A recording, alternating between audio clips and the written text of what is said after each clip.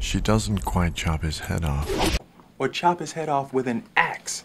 Don't chop his head off! He's gonna chop his head off. Blammy was to have coffee and regroup. It was not to chop his head off. Our pet's heads are falling off! Okay, just calm down. Many people enjoy a nice chicken dinner, but rarely do we stop to think about where our meal has come from and what it takes to get it from the farm to our plate. I will spare you some of the more unpleasant details, but basically, the chicken is beheaded and then sent through an assembly line to be further cleaned and processed before being packaged and sent to market.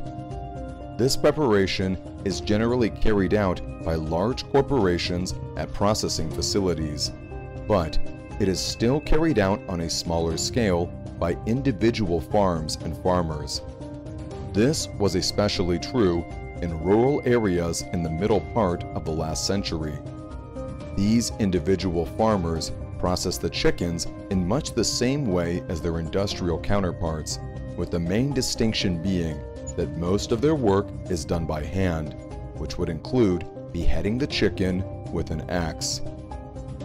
This process has been carried out millions of times, almost always with the same predictable result. But on a single occasion that defies all odds, one lucky chicken survived the chopping block and went on to have quite an amazing life. This is the story of Mike, the headless chicken.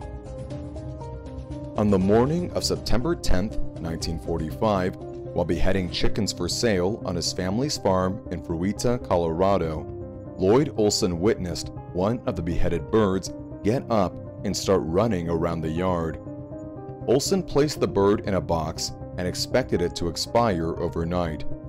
The next morning, Olson was astounded to discover the chicken, which he had called Mike, was still alive in the box on the porch. Olson thought he had quite the novelty on his hands, so he decided to take Mike with him as he went to town for the day to sell the offerings from his family's farm. While in town, Olson made the rounds at the local tavern. Eager to show Mike off to the townsfolk, Olson capitalized on his new attraction by placing bar bets, betting patrons a beer that he could show them a live, headless chicken.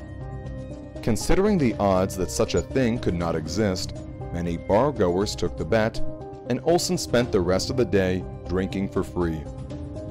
While free drinks and 15 minutes of fame at the local pub could have been enough, it was nothing compared to the fame and fortune that would come to the Olsons and Mike over the next 18 months.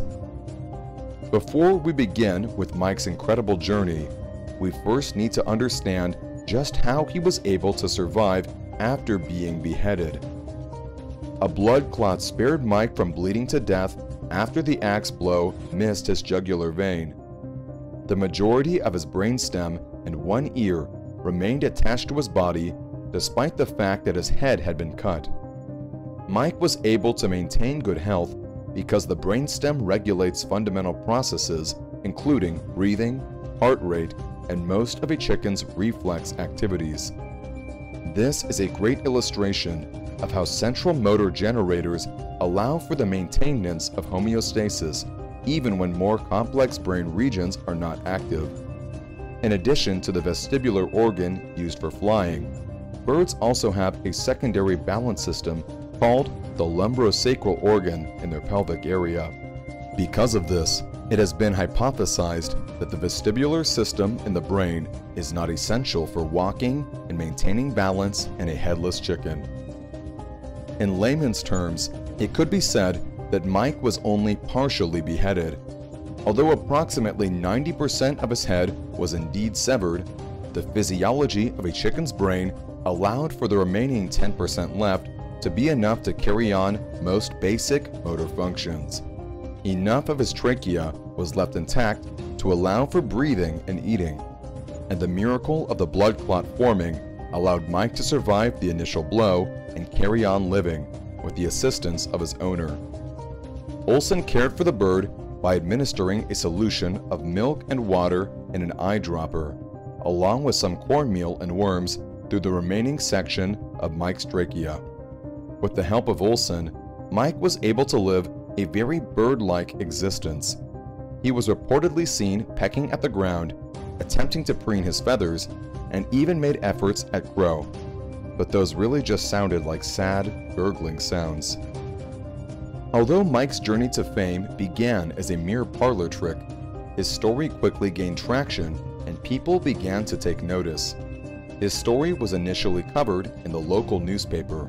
However, the article quickly spread, and the story of Mike the Headless Chicken, or Miracle Mike as he was sometimes called, eventually reached a sideshow promoter from Salt Lake City, Utah, named Hope Wade.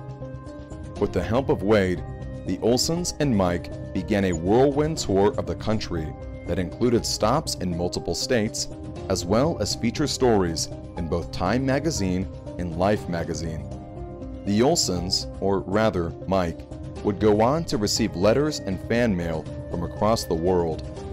Mike was put on display to the public for an admission cost of 25 cents. At the height of his popularity, the Olsons earned $4,500 per month, equivalent to over $54,000 in today's currency.